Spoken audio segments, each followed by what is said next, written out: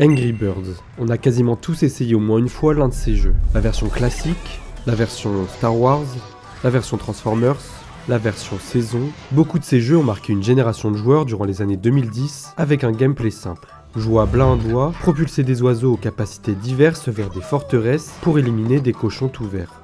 Le gameplay eut un énorme succès pour sa facilité et pour le plaisir que l'on prend en y jouant, avant de sombrer dans des jeux ayant pour objectif de brasser un maximum d'argent. La licence est née, des millions de produits dérivés vendus à travers le monde, trois parcs à thème éparpillés à travers le globe, oui oui. Le jeu ne raconte pas spécialement d'histoire, on est d'accord, à part que des cochons veulent manger les œufs des oiseaux, qui eux se défendent. Ça se résume globalement à ça. Pourtant, deux films sont sortis au cinéma entre 2016 et 2019, rencontrant un fort succès, et un troisième volet a été annoncé il y a quelques mois. Mais qu'est-ce qu'ils peuvent bien raconter? C'est ce que nous allons voir aujourd'hui. Il existe aussi plusieurs séries animées, mais on en reparlera dans une prochaine vidéo si celle-là vous a plu.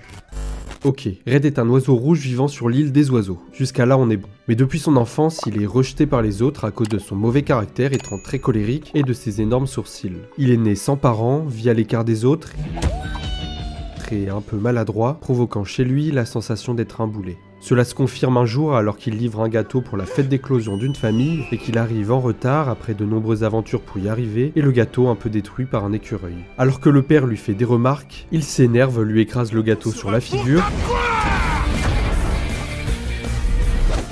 Et alors qu'il recule, glisse, retombant sur l'œuf non éclos de la famille provoquant donc une éclosion prématurée. Autre conséquence, étant la première personne que l'oisillon fraîchement né a vu, il le prend pour son papa. Pour toutes ces raisons, il finit au tribunal, c'est quand même un sacré crime, et il est condamné à la peine capitale pour avoir révélé à tout le monde que le juge n'était pas plus haut que trois pommes. Et alors, attention, la peine vient de tomber, et c'est pas de la prison ou des travaux forcés, mais un stage de gestion de colère. Il se rend donc au stage et fait la connaissance de Mathilda qui s'occupe du stage, de Chuck, un oiseau jaune hyperactif capable de se déplacer à une vitesse phénoménale et qui a été flashé avant de voler le portefeuille du policier. Terence, un énorme oiseau rouge terrifiant mais qui en fait très sympathique. Et Bombe, un oiseau noir qui gère mal ses émotions et qui, lorsqu'il est contrarié ou a une émotion forte, a la tendance d'exploser. Chose qu'il fera d'ailleurs mettant fin au stage. Chuck et Bomb essayent de se lier d'amitié avec lui, mais il préfère les éviter. Il rentre donc seul chez lui. Un jour, un bateau accoste sur la rive de l'île, détruisant au passage la maison de Red. Deux cochons verts de l'île d'en face débarquent et vous l'aurez deviné, le nom de leur île se trouve être l'île des cochons. Bravo à tous. Le capitaine se nomme Léonard et son assistant Ross, et ils prétendent être des explorateurs pacifiques apportant des offrandes d'amitié. entre cochons et oiseaux a vu le jour.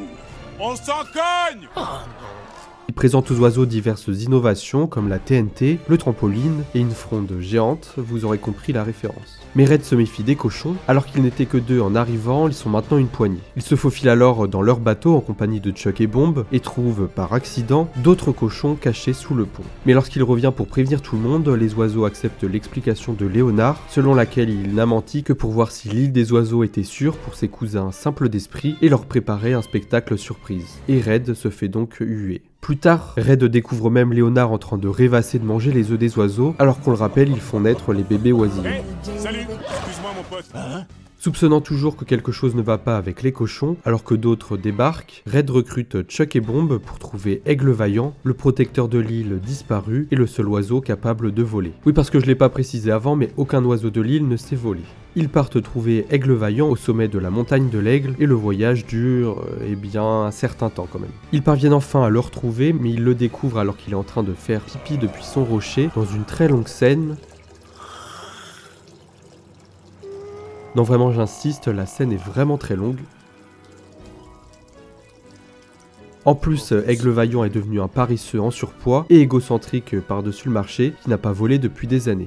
Et en regardant avec les jumelles de l'aigle, il découvre que les cochons préparent un spectacle pour détourner l'attention des oiseaux, alors que pendant ce temps-là, ils mettent de la dynamite partout dans leur village. La légende sauveur de l'île, idole de Red durant son enfance, ne veut pas descendre voler ni même les aider. Ils doivent donc se débrouiller sans lui. Les cochons prévoient de voler les œufs des oiseaux pendant que ces derniers sont distraits par la fête. Red, Chuck et Bomb reviennent en courant pour avertir les autres oiseaux arrêter les cochons. Mais ces derniers commencent à détruire le village en le faisant exploser avec tous les explosifs qu'ils ont posés et en volant l'ensemble des œufs. Chuck va avertir les autres oiseaux tandis que Red et Bomb poursuivent les cochons. Alors que leur bateau reprend la mer, ils essaient de dénouer les cordes pour laisser tomber les œufs dans l'eau, mais cela ne fonctionne pas. Alors Red dit à Bomb de faire exploser la chaîne, mais les cochons arrivent à les faire tomber avant que cela ne se produise. Le village est détruit, les œufs ont disparu. Pour la première fois depuis que Red est né, les autres oiseaux s'excusent auprès de lui de ne pas l'avoir écouté et s'en remettent à lui pour les sauver.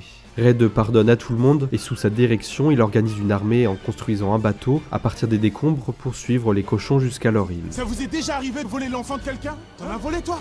Euh, toi quand je te regarde j'ai quelques doutes. Les oiseaux découvrent que les cochons vivent dans une ville fortifiée dirigée par Léonard, dont le nom complet est King Léonard Mudbeard. Déduisant que les œufs se trouvent dans le château au centre de la ville, les oiseaux utilisent la fronde géante offerte par les cochons pour les attaquer en se lançant par-dessus les murs. La plupart des oiseaux ratent le château mais détruisent d'autres bâtiments et on découvre la spécificité de chaque oiseau, référence au jeu de base. Red, Chuck et Bomb sont envoyés avec succès dans le château grâce à Terence et sa force qui leur permettent d'aller bien plus loin.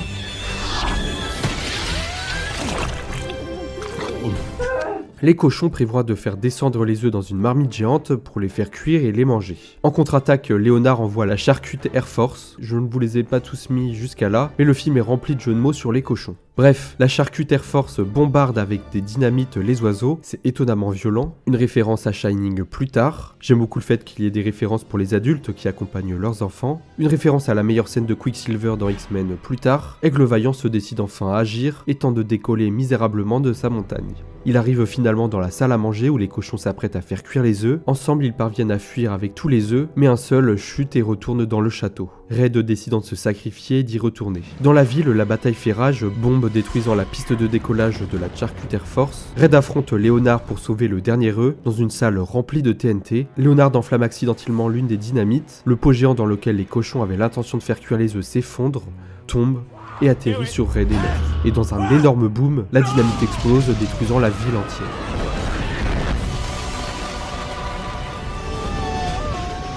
Les oiseaux ont réussi, toutes les familles sauf une se réunissent avec leur œuf, mais heureusement Red émerge des débris en tenant le dernier œuf contenant les trois petits oiseaux bleus. Ils étaient trop forts dans le jeu de base, et il les rend à leurs parents. Aigle Vaillant s'approche de Red, Chuck et Bomb, affirmant qu'il est simplement apparu paresseux pour que ces derniers puissent perdre confiance en lui et trouver confiance en eux-mêmes, et s'attribue donc le mérite d'avoir sauvé les œufs.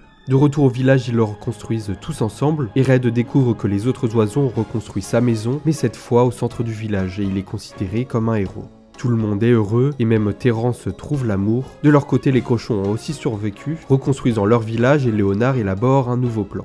Le film contient même une scène post-générique. Ah bah oui, attends, on se fout pas de votre gueule. Nous permettant de découvrir le pouvoir des trois petits oiseaux bleus qui finissent au milieu de l'océan. Je me demande bien comment ils comptent rentrer chez eux. Quelques années après la destruction de l'île des cochons, Red, devenu une véritable star en compagnie de ses deux amis Chuck et Bomb, protège l'île des oiseaux des cochons dirigés par le roi Léonard. Désolé mon vieux. Les deux camps en fait s'envoient des vacheries comme une armée de crabes, mais un jour, une boule de glace géante frappe avec violence la mer près de l'île des cochons. Et après quelques recherches supplémentaires grâce à un drone, Léonard découvre l'existence d'une troisième île, plus loin, mais qui est recouverte de glace. Dessus vit Zeta, une aigle violette un peu folle, et son armée d'aigles.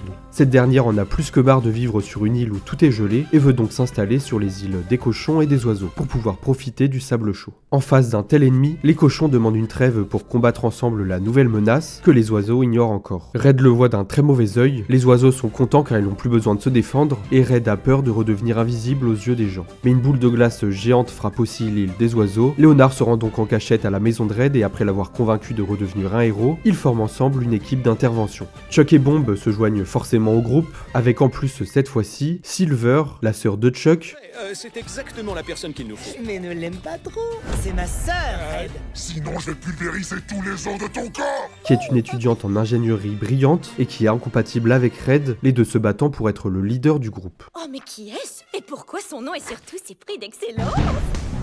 Il recrute aussi Aigle Vaillant, qui se met à hurler de peur lorsqu'il entend le nom de l'île aux aigles, et affirmant pourtant ne pas la connaître. Et alors qu'ils préparent leur plan, la montagne sacrée est touchée par une nouvelle boule de glace. Hey Qu'est-ce que vous faites? Le groupe quitte donc l'île, Red rassurant la population qui a confiance en lui de ne pas évacuer et partent dans un sous-marin géant des cochons. À l'intérieur, on leur présente des objets pour leur mission inutile, comme un spray pour devenir invisible, mais à vie, ou encore de la morve de cochon. Pendant ce temps-là, Zeta demande à son ingénieur de créer des boules de lave pour faire fuir les oiseaux de leur île. Une fois arrivés sur place, Aigle Vaillant leur avoue que lui et Zeta étaient autrefois tombés amoureux lorsqu'ils étaient jeunes et que c'était même la meilleure chose qui ne lui soit jamais arrivée. Mais pourtant, une fois fiancé, il a pris peur de s'engager avec elle pour la vie avant de l'abandonner comme un lâche sur l'autel du mariage. Comment t'as pu lui faire ça Et après leur avoir annoncé ça, il s'enfuit à nouveau. On a vraiment vu mieux comme héros protecteur de l'île des oiseaux. Après que Red ait fait du repérage, il découvre que les autres ont construit un costume d'aigle pour infiltrer l'île mais sans lui, et donc euh, vexé veut partir en mission tout seul. Heureusement Silver décide de le suivre, ils pénètrent donc tous les deux dans la base par la bouche du volcan, mais sont rapidement capturés et congelés dans des jouets aquatiques gonflables. Zeta fait son apparition et leur raconte son plan de tirer des boules de glace remplies de lave sur les deux îles en faisant la démonstration de son canon nouvellement amélioré. L'île des cochons est ainsi à nouveau détruite, ainsi que celle des oiseaux, sous une pluie de boules de lave. Red, regrettant de ne pas avoir dit aux oiseaux d'évacuer, avoue son souhait d'être aimé de tous à Silver. Elle tente de le réconforter et les libère tous les deux, pendant que Zeta fait un discours à son armée d'aigles, se préparant pour l'attaque finale. Pendant ce temps, les autres membres de l'équipe se déguisent en aigle et infiltrent la base, récupérant une carte clé pour entrer, et finissant par retrouver Red et Silver, bien ce que je crois établissant tous ensemble un plan pour détruire le canon. Red laisse cette fois la main à Silver, alors que les aigles commencent à charger les munitions.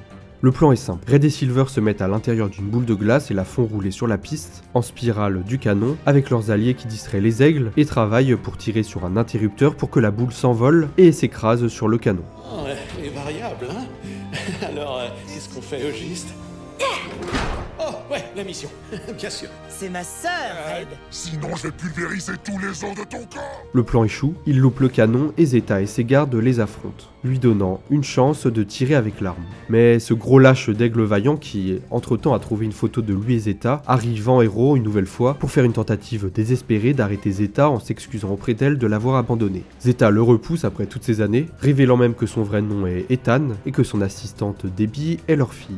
Pendant que Zeta est distraite, Chuck attache l'arme en utilisant la nouvelle invention de Silver, une corde ultra résistante qui attrape et ralentit les boules de lave. Et aidé par des oisillons qui passaient par là, renvoie les boules dans le canon ayant pour effet de faire exploser la base.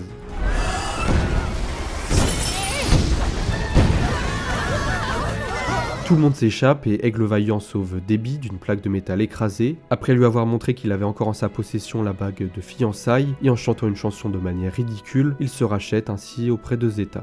Aigle Vaillant et Zeta se marient sur l'île des oiseaux, alors que quelques instants plus tôt, elle envoyait des boules de lave chez eux, mais bon, passons. Tout le reste des oiseaux, des cochons et des aigles font la fête et célèbrent leur héros, Red, mais cette fois-ci il ne veut pas être célébré seul et attribue à Silver puis au reste de l'équipe le mérite d'avoir sauvé les deux îles.